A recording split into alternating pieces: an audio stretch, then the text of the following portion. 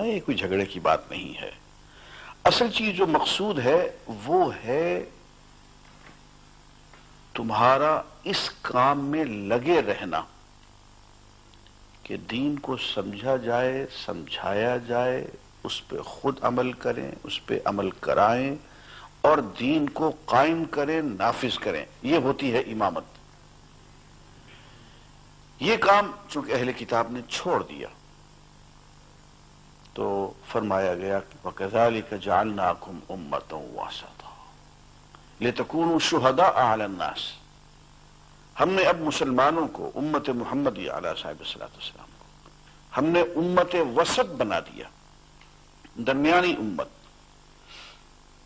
जो अल्लाह और इंसानियत के दरमियान आके पूरी इंसानियत को दीन समझाए और फिर इस बात की गवाही दे कि आए अल्लाह? तूने जो पैगाम हमें दिया था, वो हमने लोगों तक पहुँचा दिया है। और फरमाए सिर्फ़ इतना ही नहीं, बल्कि अल्लाह का रसूल भी इन पर गवाही देंगे कि हाँ, मेरी उम्मत ने इंसानियत तक ये पैगाम, अल्लाह का भेजा हुआ पैगाम पहुँचा दिया।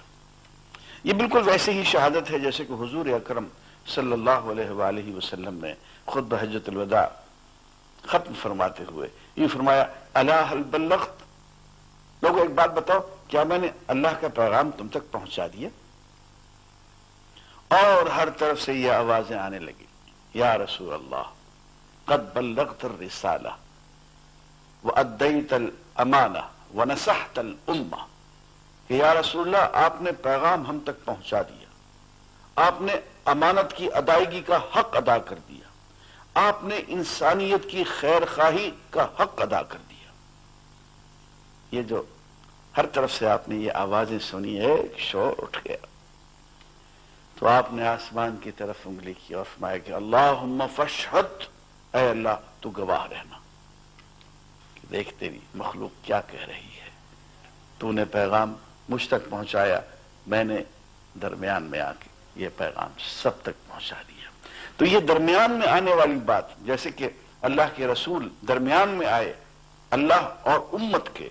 ऐसे ही ये उम्मत दरमियान में आएगी मोहम्मद रसूल्लाह के, अल्लाह रसूल और पूरी इंसानियत के दरमियान में।